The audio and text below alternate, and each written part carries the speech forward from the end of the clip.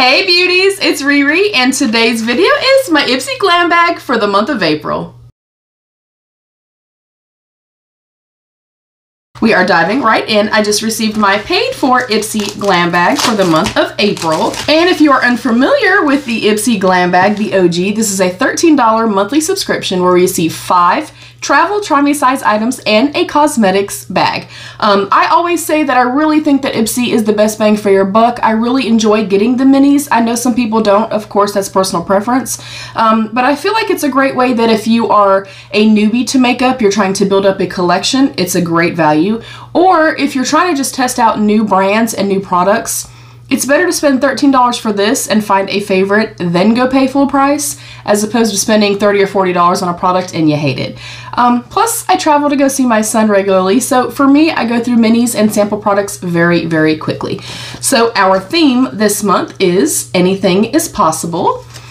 Um, and it says, A new season is bound to welcome some amazing changes for us and for you. While we're bringing the best of Ipsy and BoxyCharm together under Ipsy, it still should have been Ipsy Charm, I'm just saying.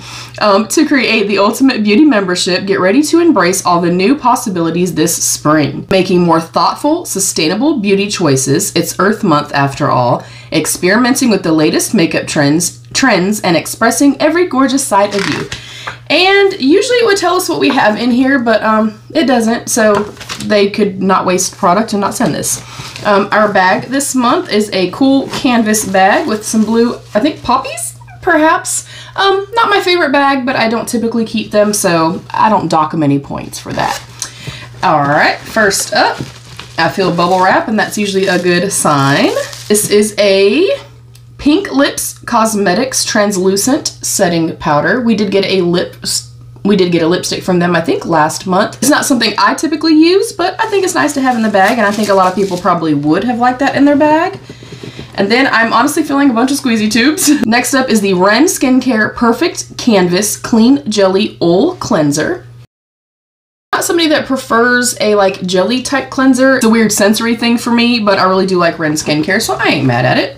Next up is, ooh, the Living Proof Curl Elongator for Cools um, Conditioning Styler. I'm super excited to have that for sure.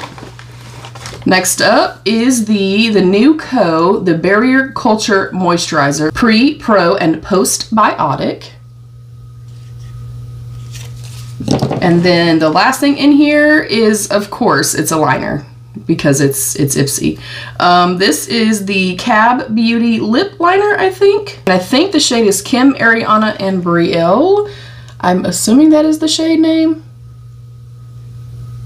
Looks like a really beautiful shade, one that I would use, but I have a ton of liners. Um, and my preference with my bag is that I am very comfortable with makeup, but I want a skincare heavy bag, so I do feel like they delivered that. I got a 3 to 2 ratio.